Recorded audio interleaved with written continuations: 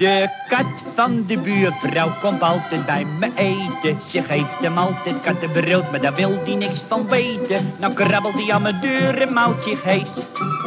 Want van mij krijgt hij de velletjes van het vlees.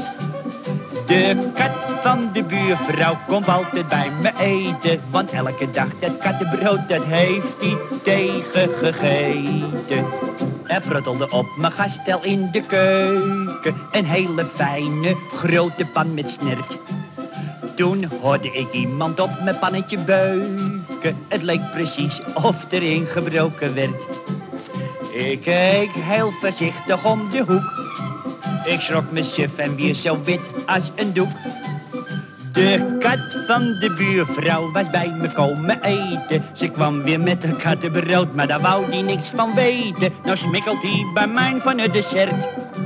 En vis dan stiekem het vetspek uit mijn snert. De kat van de buurvrouw was bij me komen eten. Want elke dag dat kattenbrood, dat had hij tegengegeten. En sinds die dag kwam hij steeds weer op visite. Ach, het was gezellig. En, en je went er dan. Ja.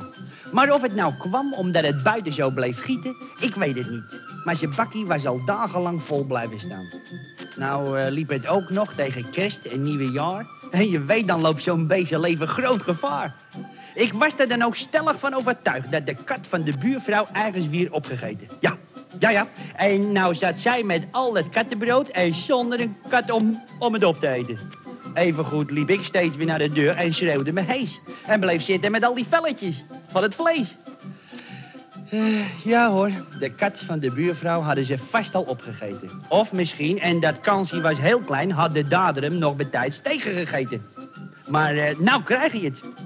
Al mijn ongerustheid hè, voor die kaarten bleek helemaal voor niks geweest. Ja, en weet je waarom?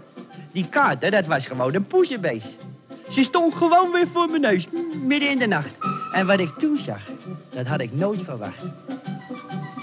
Een poesenfamilie was bij me komen eten. Probeerde eerst nog kattenbrood, maar dat kon ik wel vergeten. Ze deden net als mannen in de shows.